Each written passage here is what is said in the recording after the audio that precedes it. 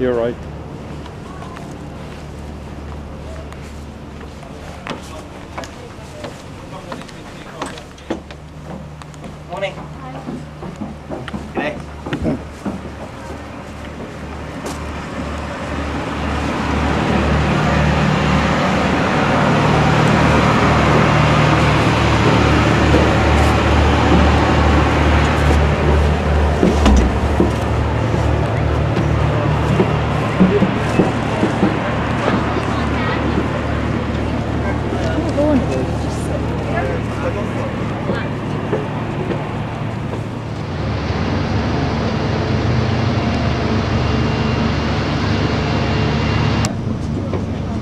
You-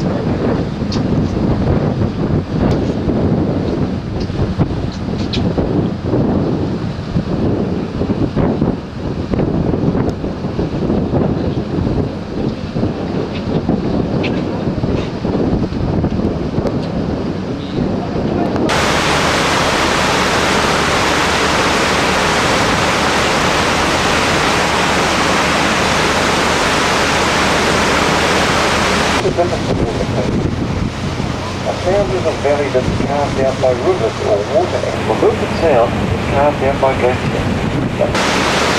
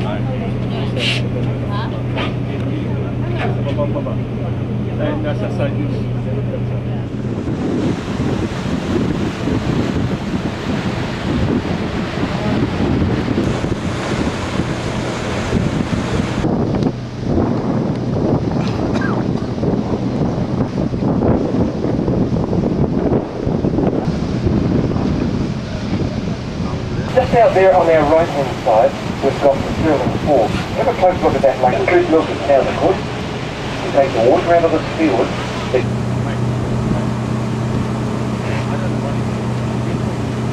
Side over the next couple of hundred metres. You'll see there's different colours in the rocks. But that's indicating that it's uh, brown rusty mark. There's green marks up there, that's copper. We've got zinc. So everything's been protected. 100 years time, everything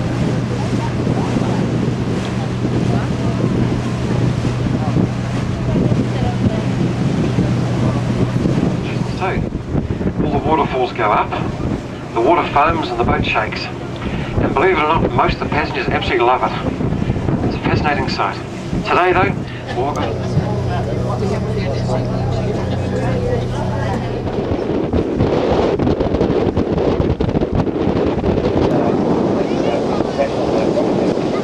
greet us very shortly as we come back around into the fiord. On a day like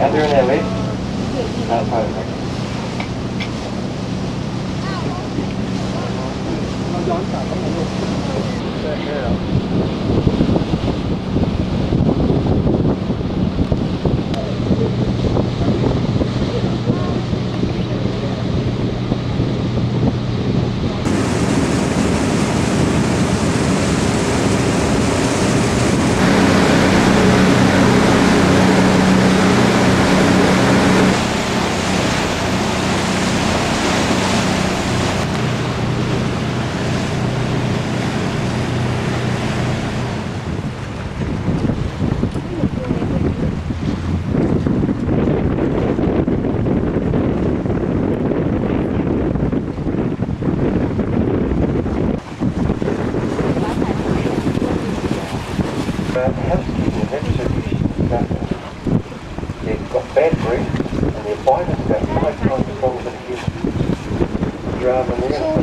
Tôi có.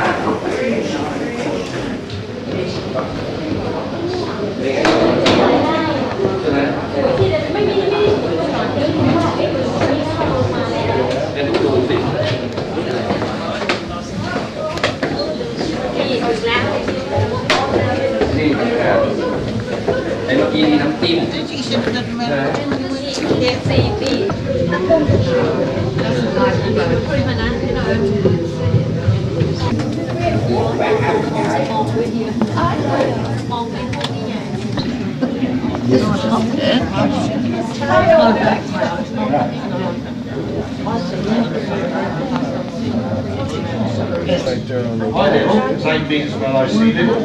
Now, there's no variance between here and the because the skeleton is black. But the living animal is in fact tiny, they're not just protected beneath the water, they're also vigorously contains with sediments because we couldn't wait for nature to do it. Nature would have taken a couple of hundred years to do that. Job for us. What you're seeing in the gardens is a den. Some of you won't be hugely fast on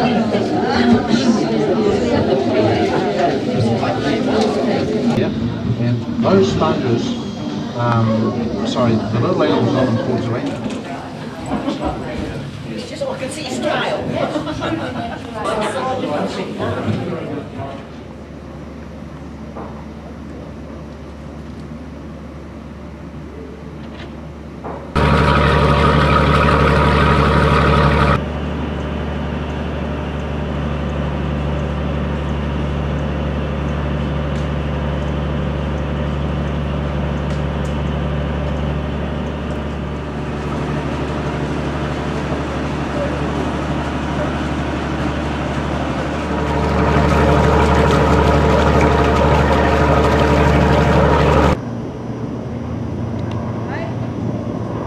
It was named after Pembrokeshire in Wales.